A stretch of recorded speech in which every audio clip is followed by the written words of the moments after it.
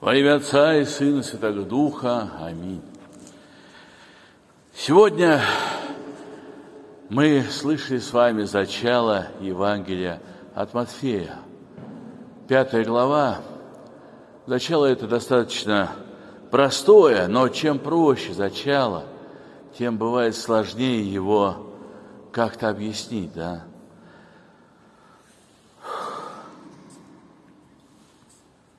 Те слова, которые постоянно спотыкаются люди. Любите врагов своих, благотворите ненавидящим вас. Как это вместить человеку, который унаследовал за время своего развития достаточно полярную схему устроения мира, то есть у него есть те, кого он готов любить, и те, кого он готов ненавидеть. И как ему вот эту биологию жизни изменить под евангельские слова, он не может понять. В чем здесь секрет-то, да? Почему? Для чего? Любить мне тех, кто мне пакостит по жизни. Ну, с какой стати? -то? Это тяжелый вопрос. Его нельзя вот так вот решить, да, каким-то указом, приказом. А ну-ка давайте любить своих врагов, да. Так не получится. Это какой-то сознательный выбор человека, свой собственный. Он должен к этому прийти. Его нельзя обязать так сделать. Он должен дорасти до того, что называется сознанием Отца Небесного. Иисус каких-то простых примерах пытается убедить окружающих, что это необходимо.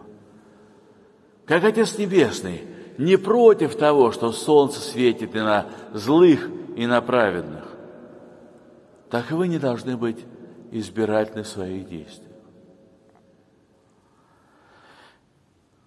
Как бы я для себя объяснил данные слова. Ведь на самом деле, посмотрите, пожалуйста, на эволюцию евангельского сознания в людях. Поначалу они и вправду, как дети, готовы были любить всех. Они совершенно не противились злу. Императоры издавали свои указы распинать, сжигать, убивать христиан. А они как продолжали собираться по ночам, так и собирались. И императором был не указ. А потом, когда власть вошла в церковь и возглавила во многом ее, у христианства появились враги. Я помню один очень хороший фильм, когда во время очередного крестового похода рыцари убивают людей налево и направо, не щадя никого. А с ними идет священник, который говорит – они все враги Господа. Убивайте и не жалейте их. И один из рыцарей поворачивается к другому и говорит, а тебе не кажется, что у нашего Господа слишком много врагов? А ведь это очевидно, да? Очевидно, как удивительно люди своими руками эволюционировали евангельскую мысль до противоположной. Оказывается, у него есть враги. А он-то призывал почему-то их любить. Что-то здесь не так. Или он неправильный, или неправильные те, кто так его слова исказил в нужную сторону. А мы вот теперь, спустя 20 веков, до сих пор не можем решить, кто нам друг, а кто нам враг? И стоит ли врагов брать в расчет, или их надо просто всех уничтожить, и тогда заживем. Отменно заживем, да? Ну, на самом деле, подобное было, наверное, и во время революции. Люди поверили в то, что если истребить всех, кто им не нравится, кто не подходит под определенный стандарт революционный, то все будет замечательно. Но есть такая штука, память. Она не позволяет это сделать окончательно. И как ты не бейся, она все равно даст себе знать. Цветы, которые полили кровью, начали кусаться потом. И ничего не получилось. Сейчас пытаются отполировать сознание людей при помощи фальшивого добра. Вот это толерантность, да, такая. Не потому, что я могу это объяснить, и это действительно необходимо, а потому, что мне это приказали сверху, да, потому что власть так хочет чтобы люди сделали то-то и то-то, да? А человек спрашивает, а почему я должен это делать? Ну, почему? Очевидно, это входит в его сознание конфликт какой-то, да? Он не понимает совершенно. Так вот, человеку надо объяснить, почему. Иисус свои слова достаточно просто пояснил. Если вы хотите быть похожими на Отца Небесного, тогда любите всех. Потому что Он любит всех. И это очевидно. Ведь на самом-то деле Иисус явил миру Отца. Ну, как бы простой пример, э, которым можно было бы объяснить. Да? Ну, представьте себе, дети сидят в детском саду в закрытой комнате. И друг другу говорят – Сейчас придет воспитатель, строгий такой, страшный. Он всех вообще вот тут накажет. И они заперлись изнутри, там, забаррикадировались и э, сидят и боятся, да? А тут один говорит, ну я его знаю. Он похож на меня, он такой же, как я. С чего бы я должен его бояться? И он начинает объяснять всем. Ну вы посмотрите, да? Сколько он для вас сделал добра, да? Там и еды наготовил, да? И кровати заправил. Для чего? Чтобы сделать вам какое-то зло, да? Ну вот, как бы сказать, то, на что похоже то, что сделал Иисус, да? Он просто показал миру Отца. Я понимаю, что пример, конечно, примитивный, но я думаю, доходчивый, да. На эту тему есть много а, похожих произведений. Ревизор, например, да, Гоголевский. Или японское произведение «В ожидании Годо». Тоже очень а, мысль четко прослеживается, да. Ожидание и страх перед тем, что придет. И страх, когда расстаться стук в дверь. Дети забились под кровать, потому что они боятся. А почему они боятся? Их кто-то напугал. И вот когда пришел Иисус, ему воистину пришлось людей расколдовывать. Он постоянно говорит, вот обратите внимание, а митрополит Иларион, он посчитал, хотя, может быть, я заблуждаюсь, может быть, это сделал не митрополит Иларион. Я где-то читал заметку о том, что кто-то из епископов написал о том, что в Евангелии самая частая фраза, которую говорит Иисус, звучит так – «не бойтесь». Значит, все-таки кто-то запугал, да? Вот это желание манипулировать людьми, желание поселить в них ужас и сделать так, чтобы те жертвы, которые они приносили, были пропитаны этим ужасом. Не от чистого сердца все это приносит, но от того, что он движим ужасом. Как же это противно должно быть, да? Как вы думаете, кто слетается на трапезу ужаса? Ангелы или демоны? Для меня очевидно. Демоны, конечно, слетаются. Они любят это лакомство. Потому что я хорошо видел людей, которые одержимы ужасом. В них часто не остается ничего человеческого.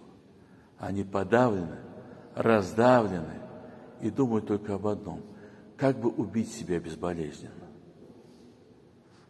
Как бы себя сжить сосвету. Вот такой страх иногда поселяется в людях. И им очень тяжело жить на свете становится. И общаясь с ними, я просто был, ну, тоже подавлен, да, тем, что я никак не могу им помочь. Я никак не могу внушить им то, что мир остался прежним. У них в сознании пробоина, дыра какая-то, через которую тонет их корабль, да?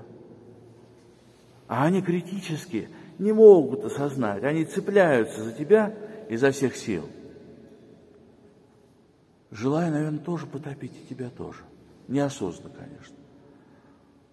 Но просто потому, что ты единственное, что им попалось под руку.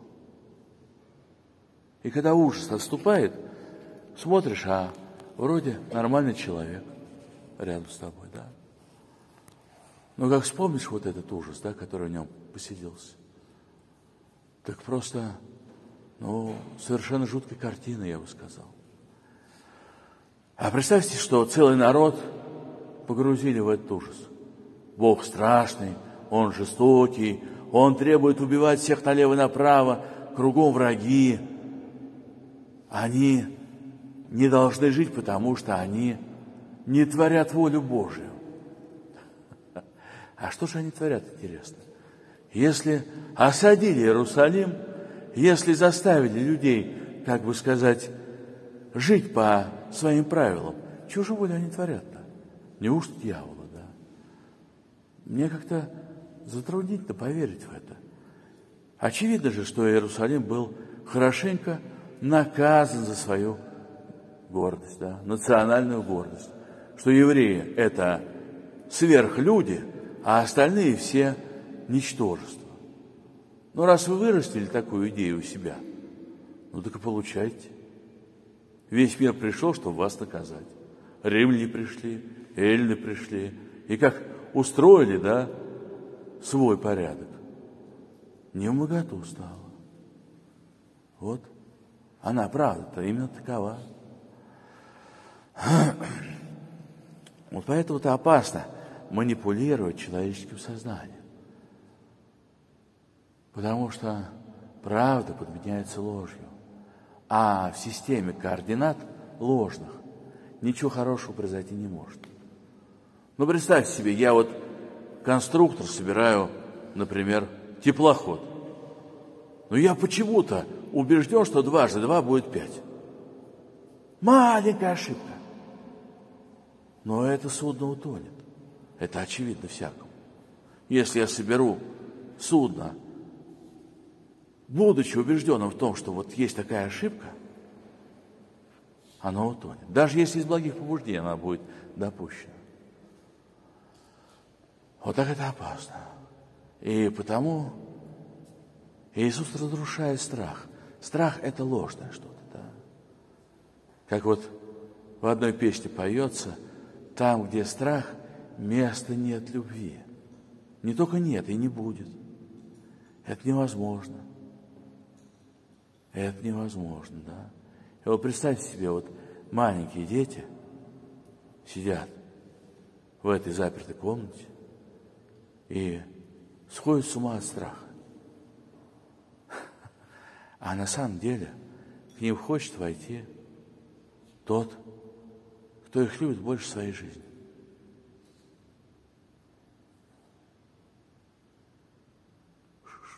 Сложно сказать, да? Насколько подлое сердце создала такую ситуацию. А уж если она произошла по какому-то недоразумению, тогда это вообще очень сложно представить. Все-таки, скорее всего, какой-то злой умысел, да? Детей ожесточить против отца и увести за собой. Куда? Ну, очевидно, в эту непроглядную пропасть страха. Сделать человека рабом страха. И вот появляется Иисус, который говорит что-то совершенно противоположное. Врагов никто не отменит, но вы можете их любить. Почему? Потому что они тоже люди. Но вот ни больше, ни меньше. А они тоже люди. Рад бы вам что-то новое сказать, но не смогу. Если вы в них людей не видите, ну тогда, в принципе, уже и это не поможет. Поэтому любое усилие, которое делает манипулятор над людьми в этом направлении, заключается в том, чтобы тех, кого он называет врагами, представить в нечеловеческом виде, чтобы люди перестали видеть людей в других. И тогда все можно. Тогда, конечно, крик раздается, они демоны, надо взять мечи, надо резать до последнего. И все. Кто победил? Манипулятор. Он опять остался безнаказанным. Насколько люди виноваты, я не знаю. Я не хочу об этом даже судить. Так происходит. Выход не менее болезненный, чем пребывание в этом состоянии. Единственный выход только делает тебя похожим на Бога. Это единственное, что он может сделать. Нужно тебе это человек. Не знаю. Честно не знаю. Может быть, тебе проще прожить с мечом в руках и резать налево-направо. Может, так проще. Может, так комфортнее. Так хотя бы понятнее. Там враги, здесь друзья. Они тебя завтра продадут за бутылку, но это ж твои кореша. Ты бы не продал что за бутылку. Вот он момент истины.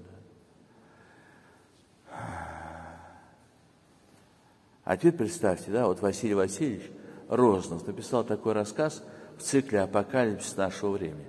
Это было больше ста лет назад. Отец, говорит, задумал родить сына. И создал его, да, родил его, вложил в него все лучшее. А сын получился уродом, чуркой бессловесной. И он смотрит на него и хочет ему добра, а поделать ничего не может. И слезы текут вас из его глаз, да?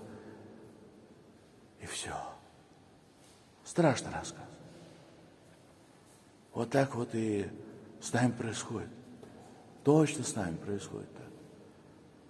Он, может быть, и рад бы что-то сделать для нас, но нам надо еще несколько миллионов лет, чтобы достичь просветления какого-то, да? Или надо истребить друг друга у него на глазах. Он будет доволен. Я не думаю, что он будет доволен. Мы будем довольны. Я тоже не знаю. Не уверен. Совершенно не уверен, что мы будем довольны этим. А, тогда что же мы хотим да? Он просто дал противоядие, да? Горькое противоядие. Иисус дал это противоядие. Хотите хоть что-то сделать, делайте наперекор тому дьяволу, который вас пленил. Он вас призывает ненавидеть, так полюбите. Чтобы сделать наперекор, чтобы это противоядие вас защитило от яда. Хотя бы так. Ну, больше нечего делать, понимаете? Вот что не делай, все не так. Ну, хотя бы так. Видите, как интересно. Вот так я понимаю эти слова Иисуса. Не в том, чтобы показаться хорошими, да наплевать на мнение о себе, наплевать на него. А если уж и самое страшное, что может с человеком произойти, это страшный суд, так набраться терпения и вынести этот момент, пока вся эта помойка не выльется. А потом плюнуть и сказать, теперь я знаю, кому я дорог, и теперь я знаю, что мне делать. И я вижу свою дорогу. И я знаю тех, кто пойдет со мной, а тех, кто не пойдет, ну что же, ну, я просто отпущу. И все. Вот и все на самом деле. Вот и весь принцип. Не бояться и любить врагов. Набраться терпения, набраться смелости. Да, многие из нас похожи на этого трусливого льва из волшебника изумрудного города и глупого страшилу. Но и самое интересное в этой сказке, что когда лев и страшила и прочие благодарят волшебник, он говорит, а я ничего не сделал. Я просто исполнил ваше желание. И в голову страшили, насыпал булавок с отрубями, а тебе дал плюшевое сердце, а тебе еще что-то, да? На самом деле все это у вас было. Вы просто стали ими, теми, которые вы есть сейчас. Вот нужно это видеть, да? Евангелие – это закваска, это катализатор, это прививка от временной жизни.